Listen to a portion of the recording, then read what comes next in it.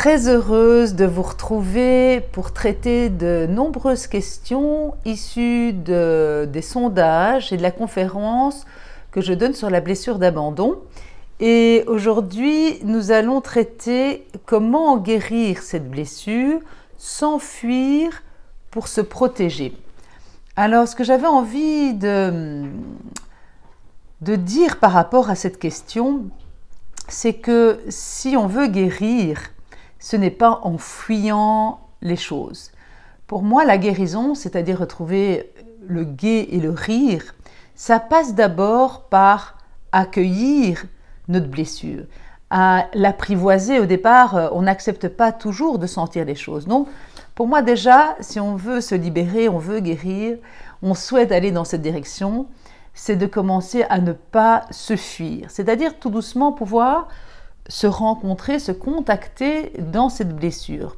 Parce que une blessure cache une émotion derrière et, il y a un besoin fondamental qu'il est nécessaire d'aller rencontrer pour pouvoir, à un certain moment, guérir de cette blessure. Donc la première étape, c'est de ne pas se fuir, de pouvoir dire oui, de ne pas lutter, de ne pas résister. Et au départ, ce qui nous fait énormément souffrir, c'est cette résistance, cette lutte épouvantable pour ne pas sentir, pour pas sentir cette sensibilité, pour pas sentir une blessure souvent émotionnelle qui date profondément d'une conscience d'enfant qui se réactive encore aujourd'hui en tant qu'adulte.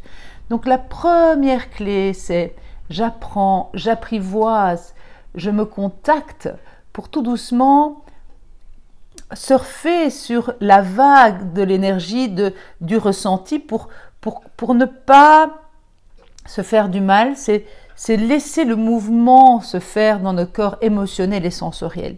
Je veux dire, pour moi, la vraie guérison passe pas uniquement par le mental, elle passe par sentir dans son corps, et puis après, peut-être après regarder les choses avec un autre regard, une autre vision, et ouvrir son champ de conscience sur comment cela se fait-il que je ne pouvais pas au départ euh, accueillir ça. C'est-à-dire que notre corps était bloqué, notre mental était, euh, était résistant à, à sentir. Donc, apprivoiser, accueillir, se rencontrer, c'est ne plus fuir, étant donné que fuir, pour moi, est un cerveau reptilien qui euh, est une stratégie de l'enfant quand il avait tellement mal pour ne pas sentir.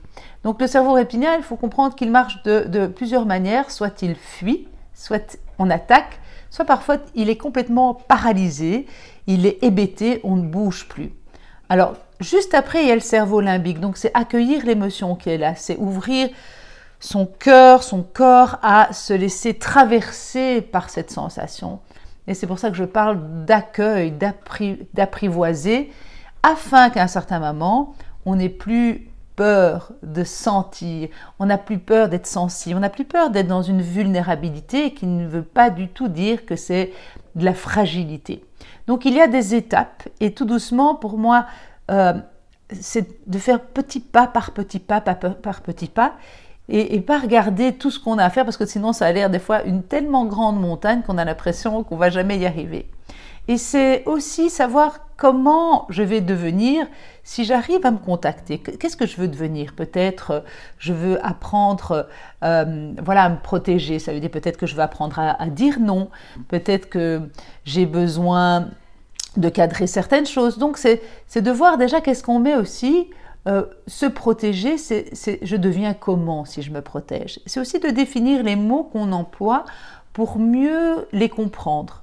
Donc, chaque mot a un représenté dans votre cerveau et pour moi c'est très important de dire qu'est-ce que je veux dire, qu'est-ce que je veux devenir, qu'est-ce que ça veut dire pour moi guérir, qu'est-ce que ça veut dire pour moi se, se protéger? Voilà. Donc pour trois petits mots, j'apprivoise pour accueillir ce que je ressens et je définis les mots que j'emploie pour ce que je veux devenir et étape par étape, je vais dans cette direction qui est donc euh, euh, celle qui fait que pour moi, je me sentirai guéri et libéré de cette blessure. Voilà.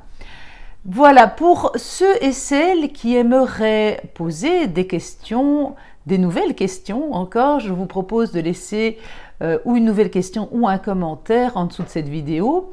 Et si vous désirez ne pas rater une des réponses à ces questions, et si ce domaine vous intéresse, je vous propose de vous inscrire euh, pour recevoir les notifications à Enquête du Bonheur, donc sur cette chaîne, pour me retrouver pour les nouvelles questions. Voilà, écoutez, je vous souhaite une belle journée et à très vite pour de nouvelles questions.